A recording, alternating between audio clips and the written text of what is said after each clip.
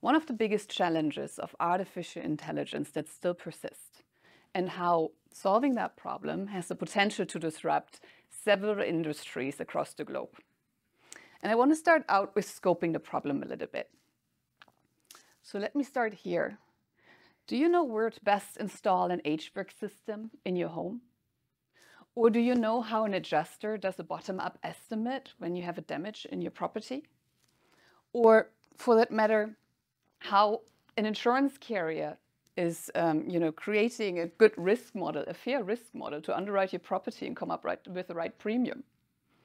Or how Airbnb at scale determines whether a property is accessible uh, by people with disabilities. You know, I could easily come up with 20 other use cases and more. And all of them have the same underlying problem. They all require build-specific spatial understanding. And that can be assessed by a human expert or a complex vision algorithm. Yet large enterprises, I mentioned insurance use cases, like insurance carriers, right, employ thousands of human experts. Mm. Yet experts are scarce and you know, bringing, training newbies on the job usually comes at the expense of a customer. So bridging the world the gap between the physical and the virtual environment, the built environment, at scale, is still one of the hardest challenges in artificial intelligence today. Let's dive into this. Why is this so complicated? Well, most of the world is still captured in 2D. You know, we all capture images and videos every day.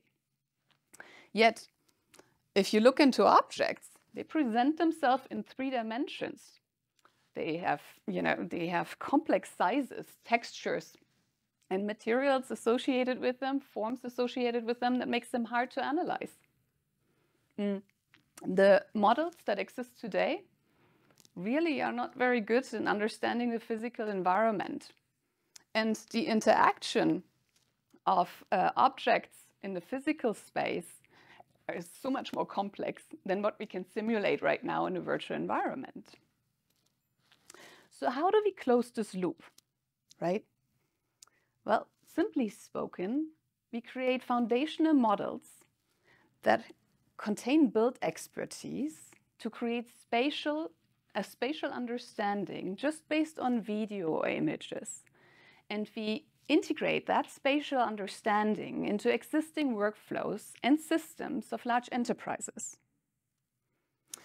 Let me give you a specific example around that. Has anybody ever experienced a disaster or something like a simpler water damage and needed to file a claim?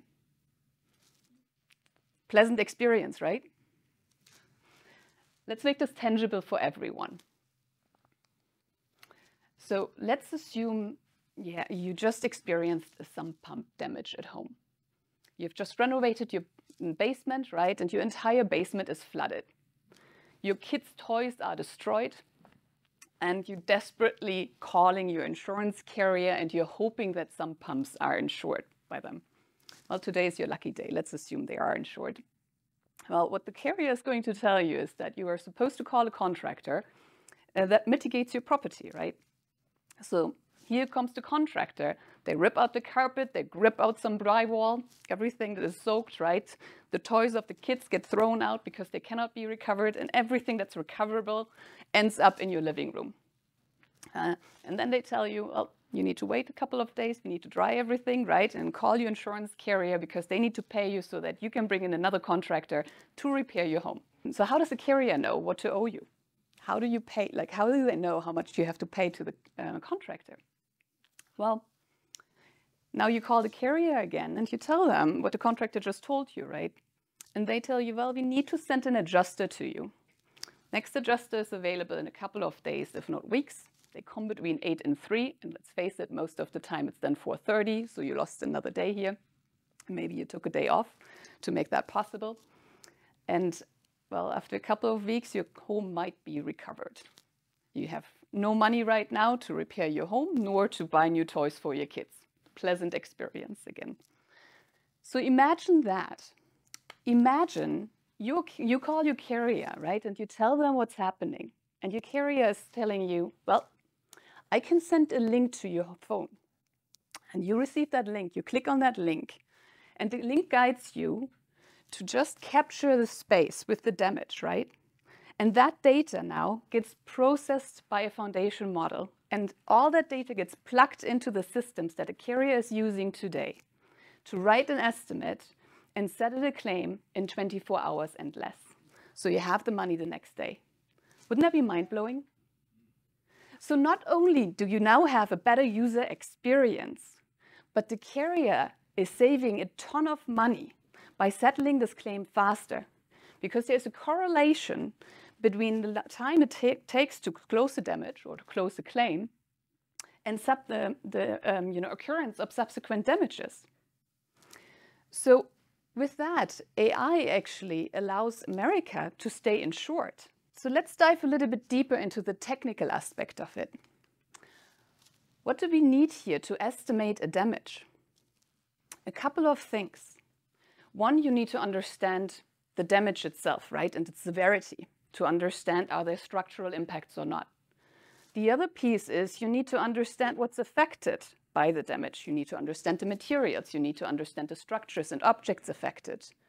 And eventually, you need to understand the associated measurements to derive the right tasks and quantities associated with this damage. Come up with a good estimate. This requires advanced generative spatial computer vision to create a human-like perception of the space. We call that spatial AI. So if you think about this, and think about all these use cases that I mentioned in the beginning, and understand that these are solvable today. Imagine forward what else can be solved through artificial intelligence.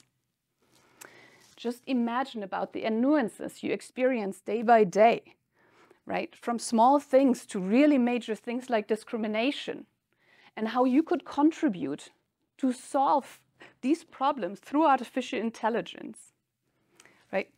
the problem I've outlined here helps companies, large industry companies, to say, uh, become 10x more efficient and save hundreds, if not billions of dollars, hundreds of millions, if not billions of dollars, and allow them to make their products accessible to everyone. Join me in solving the hard problems in AI today to change the world for the better. Thank you very much.